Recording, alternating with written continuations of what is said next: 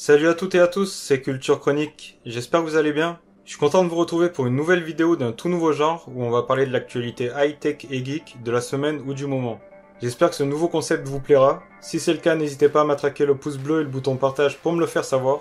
Et si vous ne voulez pas rater mes prochaines vidéos, pensez à vous abonner et activer la cloche. N'hésitez pas aussi à débattre de ces actualités dans les commentaires.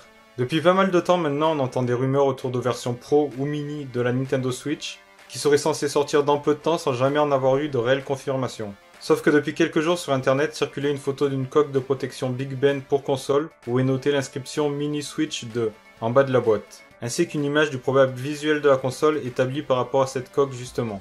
Et puis aujourd'hui, 10 juillet 2019, Nintendo a mis un terme à toutes ces rumeurs et a dévoilé la Switch Lite par le biais d'une vidéo. La console sortira le 20 septembre de cette année et sera commercialisée au prix de 200 dollars, soit probablement 200 euros en Europe. La Switch Lite apparaît surtout comme la remplaçante de la 3DS. Elle est d'ailleurs présentée par le producteur général de la Nintendo Switch comme une Switch dédiée aux jeux portables.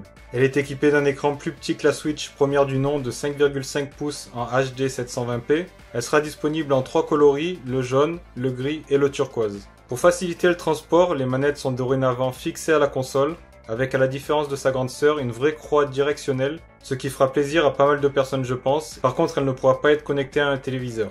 La caméra infrarouge et les vibrations HD ont été retirées aussi, mais il sera toujours possible de connecter des Joy-Con en sans fil.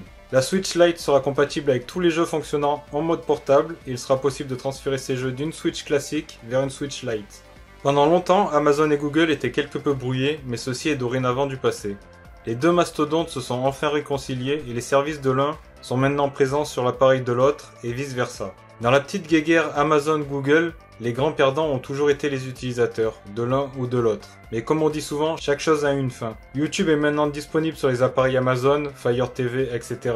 Mais surtout, Amazon Prime Video va progressivement être disponible sur le Play Store de tous les appareils Android TV, et l'application smartphone est à présent compatible avec le Chromecast, et c'est ce dernier point qui va sûrement le plus intéresser les utilisateurs.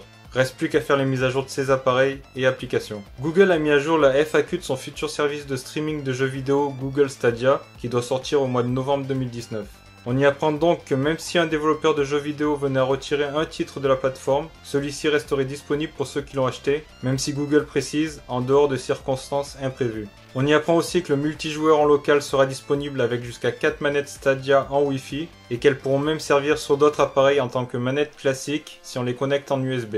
En bref, dans l'actualité, le Media Center Kodi s'enrichit de toujours plus de fonctionnalités et de compatibilité, et depuis sa version Leia 18.3, il est capable de lire le format audio DTS HD. Suite aux sanctions des USA vis-à-vis de Huawei, on a beaucoup parlé de Hongmeng OS, appelé ArcOS en Occident, le système d'exploitation pour appareils mobiles sur lequel travaille Huawei pour peut-être remplacer Android sur ses mobiles un jour. Ren Zhengfei, le directeur général de Huawei, a annoncé qu'il devrait être 60% plus rapide qu'Android.